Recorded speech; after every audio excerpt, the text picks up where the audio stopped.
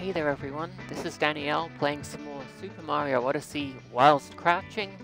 Uh, we've respawned here because this is the last story moon we got. That's something that it does during the story when you load the game back up. It's kind of weird.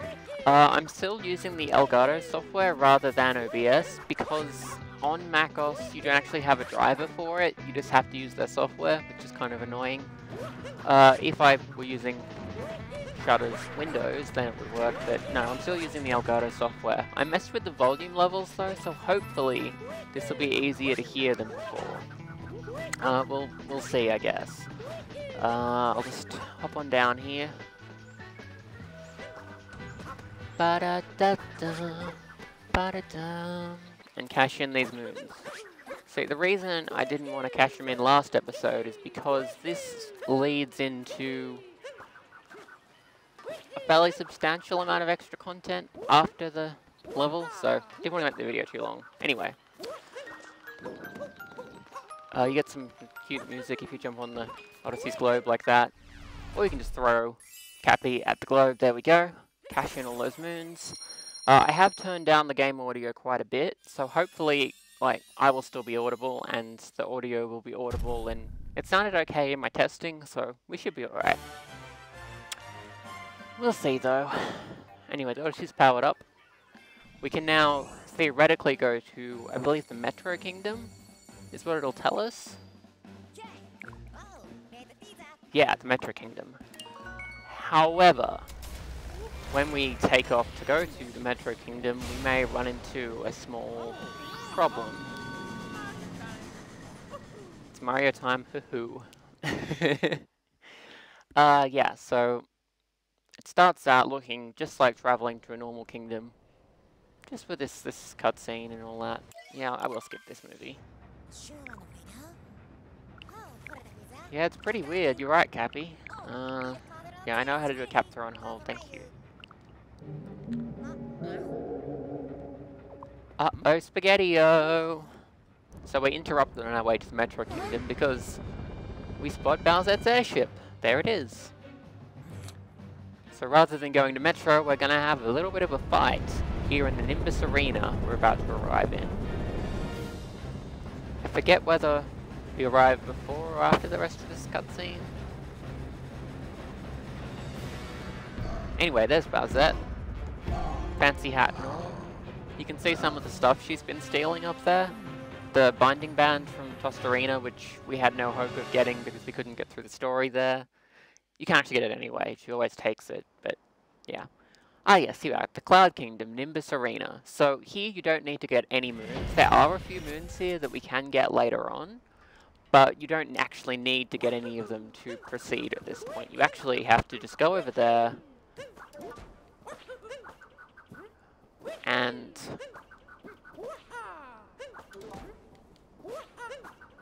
fight against Bowser in the first battle in the game against her. It's pretty easy normally, but it may be a bit more difficult under these conditions. You'll see why in a moment.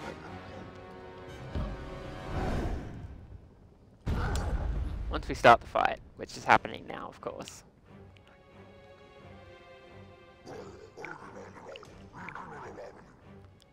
Okay, you have a good point.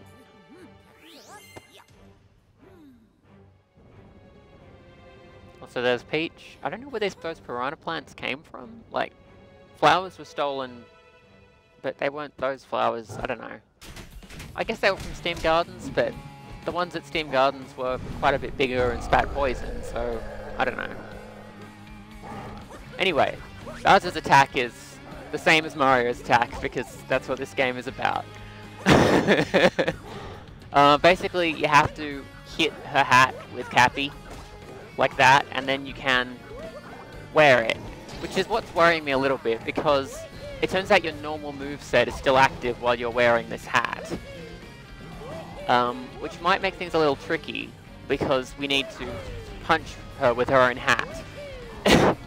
and that is replaced with rolling on the ground, like most other things. Oh, actually, no, we're fine. Okay, cool. That's easier than I thought it would be. So yeah, we sort of get our hat and do that again. Also, the music here is fantastic, so I might just be a bit quieter so you can hear it. It's really good.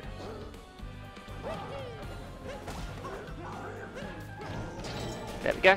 So yeah, you can still use your normal moveset when you're wearing the hat, but the Y button also punches, unlike with Cappy throws where it's replacing.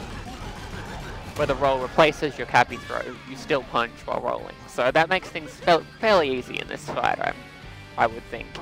I was concerned I'd have to keep jumping in order to punch, but you don't, so no problem.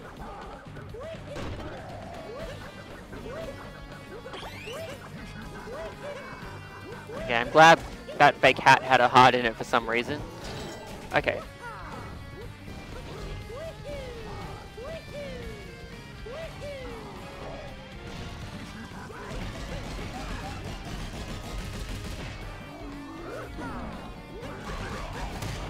So yeah, that's that whole fight. It's very short and very easy. Uh, you do a very similar fight near the end of the game, which is a bit harder, but still pretty easy. Uh, I was worried about it, but no, it turns out to be very easy, even while permanently crouching. So that's the Cloud Kingdom done. As mentioned, there are some moons here, but we won't be getting them. Because this is about to happen instead.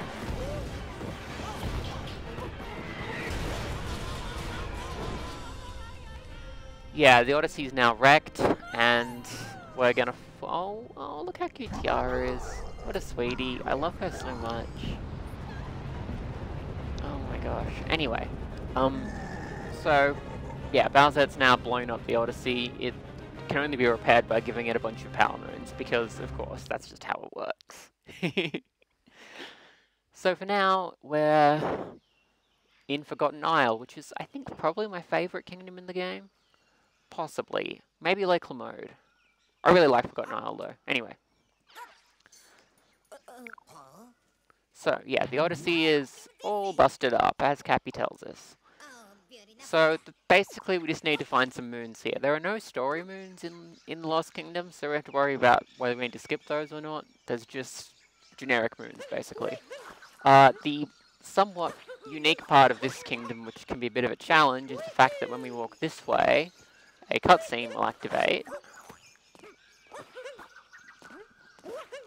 Once we walk far enough, I think it's about here Yeah.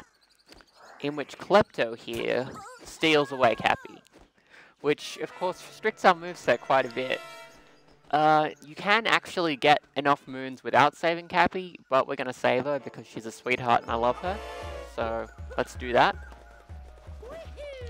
Uh, thankfully, we do have enough moves to still make it there without access to our cap companion. It's a little harder.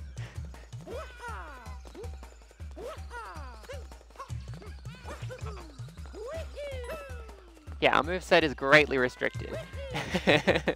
uh, we can still ground pound out of a backflip, which is good because we need to ground pound to rescue her. We gotta basically ground pound one of these things to do it. Uh, I think we probably have to actually climb up here and flip these stairs around to get up. Oops. There's no like time limit or anything, so let's keep crying for help forever, but I want to do it reasonably quickly because she's precious. Oh no! Okay, I hit the checkpoint, so that's not a big deal.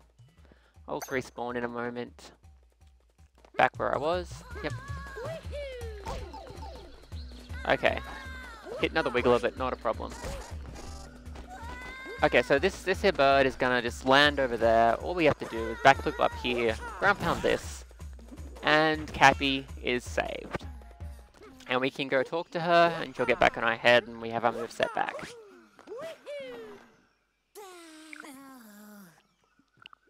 What a sweetie. Yeah, let's pluck up our spirits. What a good idea. Anyway, now we have Cappy back. So we have our full move set again, and we can make use of that to gather 10 power moves, which we'll be doing now. So there's one here.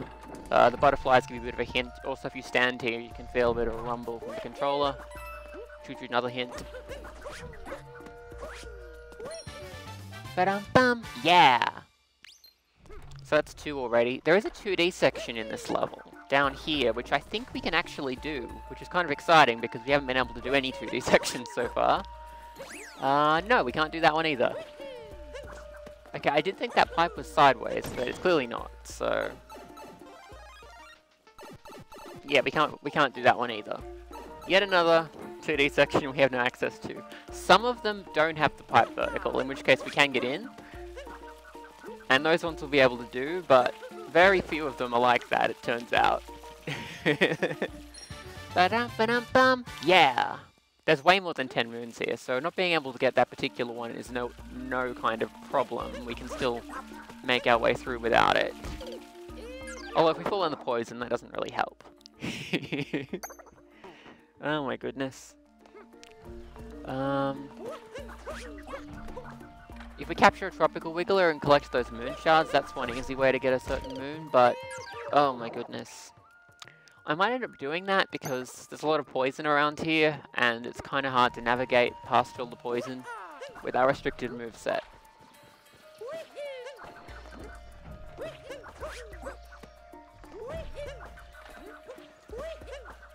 Uh, there's a moon under there that we can get. It's easiest to do with a Wiggler. You, you can do it without one, but then you fall in the poison afterwards, so... Less than ideal, really. Oops. Wow, I bumped against a leaf. oh my goodness. I guess this is just the kingdom of many bonks, I don't know. Anyway, well, we want to get up here because if we ground pound on this one, that unlocks this area, which is useful to us because there's a moon in there. Ba-dum, ba-dum, bum. Yeah! Uh, some of these moons you can quite easily get before rescuing Cappy. That's what I did on my first run, but I felt bad about it. So, rescuing Cappy is a priority. Also, it would be quite hard to do that without Cappy, without our other moves. Which would have happened if we tried to do it without rescuing her. Uh, another moon down here, very easy to reach. Yeah! Okay, we're halfway there. So yeah, this one's just completely sandbox because there's no story at all. You just have to wander around and grab whatever moons you can find. That's right, Cappy. Half the power moons we need. I'm very proud of you, sweetheart. Okay, there is one over here.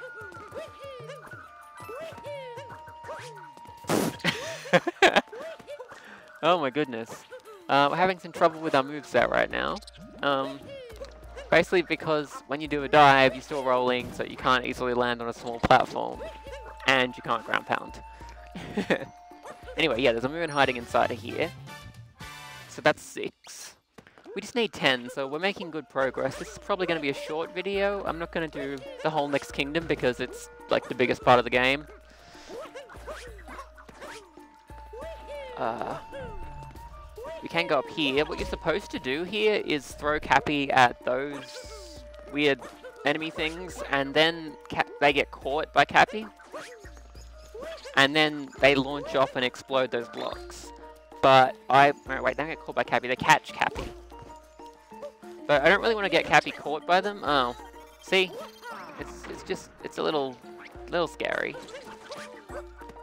I don't want her to get caught, so I'm going to try to avoid that happening. Can actually skip around all of these. It's just a little tricky with our moves. There we go. So here where the butterflies are, there is of course another moon hiding. Ba-da-ba! Yeah! Um, we've almost made our way up to 10 moons. So, we're nearly done here. This is, this is going to be a short sort of video. Short-ish. It's 14 minutes already. Uh, this is pretty should be pretty easy. Having a bit of trouble with it. Um, yeah, we can still wall jump normally, and this is basically just wall jumping fast, so... There we go. Not sure what I was doing wrong there. Anyway, yeah, you just climb up here. There's a toad at the top who wants you to shop at this shop that they can't figure out why no one's shopping here. At the very top of the Rocky Mountain Summit, which is kind of hilarious. Um, there's a Glydon here, the first one we've seen in the game, actually. Uh, there is one, there's a Glydon in Tostarena, but they just, like, he doesn't show up until after you've done the story. So the first one we've seen in this run is this one. We will be getting some help from him, because I'm planning to go for that moon over there. as far as I know, you have to use Glydon to get over there because it's quite far and you've gotta glide and all that. A few other places you need Glydon to get to, but that's pretty much the main reason he's there. We're not gonna get back to a high place from here. Yeah, Cappy expects you to use the one in um, Tostarena first, I think. Yeah, we sure did. Hey, that reminds me. Um, in, I've seen a lot of hacks and stuff where they've made Cappy say random nonsense, like you know the name of the level, for example, and authorship and like like wacky comments, I guess, which they're just out of character, and I, it frustrates me a lot because Cappy is really, really cute and precious, and I love her. And I think if you're going to be putting in messages and stuff into your hack, they should be in character, or they should be not said by Cappy so that they don't, you know, mess with their characterization.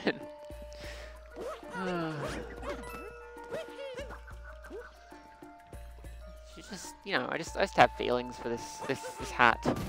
She's important to me. Uh, there's a moon around there. That's easiest to get using a Tropical Wiggler, but I think we can do it without one, so... Yeah, that's totally doable. Um, I'm not sure what the best way to do it is. Maybe it's like a cap bounce, or... Yeah, there's some poison there, so you, yeah, you gotta watch out for that. um, we're at 9 out of 10 moons, so basically just gotta do this one, or another one around here somewhere. Uh, we could buy a moon, actually. We haven't done that yet in this run. I do want to check something to do with buying moons. I might not actually buy any, but I wanted to check if... Yeah, I know there's two kinds of coins. Yeah, okay, you're only allowed to buy one moon. Right. It's, it's weird. Um, once you've actually cleared the story, all of the stores in the game have unlimited moons to buy rather than just the one. So I'm not really sure what the point of that is. Because you don't really unlock a lot of stuff at that point for having all the moon, for having a certain number of moons you unlock stuff for getting like particular moons, but I don't know, it's weird. It's a strange design. Uh, we can get that butterfly, but it's going to be really fiddly. Basically, you have to get a certain distance and throw Cappy, but we have trouble throwing Cappy precisely, so... might do something else. Uh, this block hiding over here, sort of hiding is very conspicuous. You can just break that. There's a couple of purple coins in there. There aren't any moons. Also, the camera will not follow you in here, so if you happen to be crawling around very slowly, you might have some trouble figuring out exactly where to go. um, hmm. I don't know if we can do that quickly enough. You have to make all of those bloom by throwing Cappy at them, but, you know, we have some trouble throwing Cappy on the ground and quickly, and on the ground quickly. uh, let's see.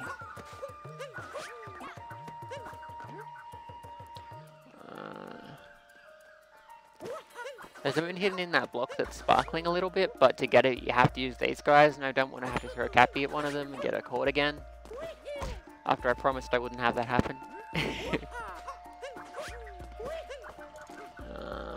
So I'll give that moon up there another shot. Okay, I think you just have to, to come from down here to get to it.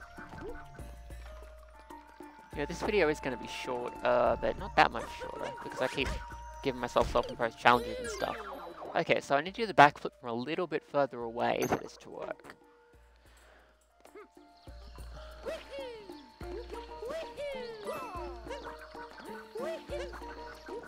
So some of the coins from when I died are now just sort of hanging out there. That's an interesting feature of this game. You can recollect the 10 coins if they landed somewhere where you can get to.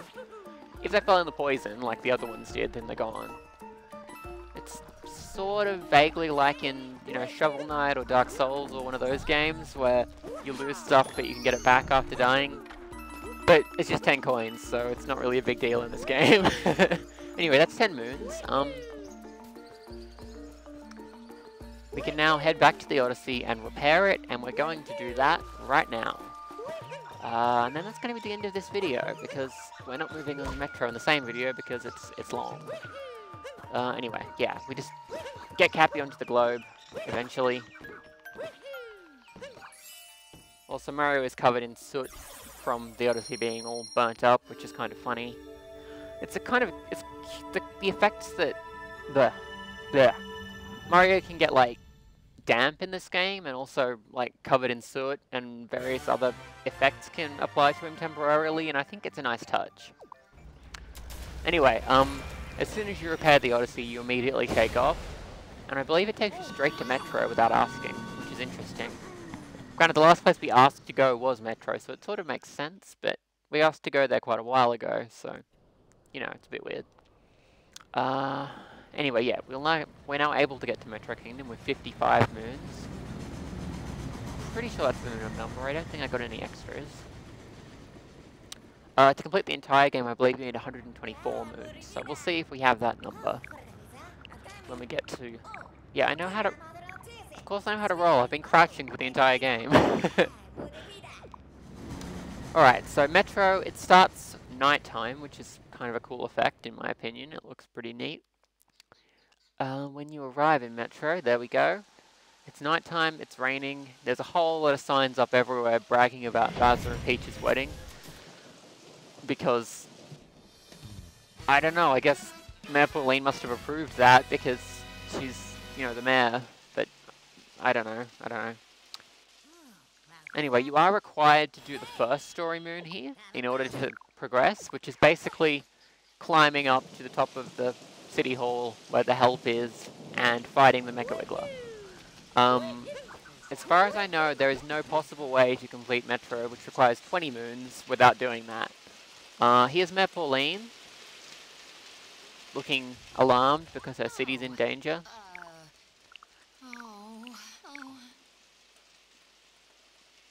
I mean, yeah, but did, did you give him permission to do that, or?